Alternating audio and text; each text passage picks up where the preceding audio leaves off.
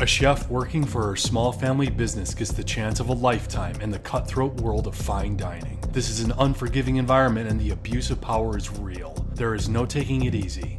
There is no rest for the wicked. It's success or nothing. The rise of a chef becomes a brutal story of finally getting what you want. This is what being special tastes like. So if you've got nothing to watch, watch Hunger.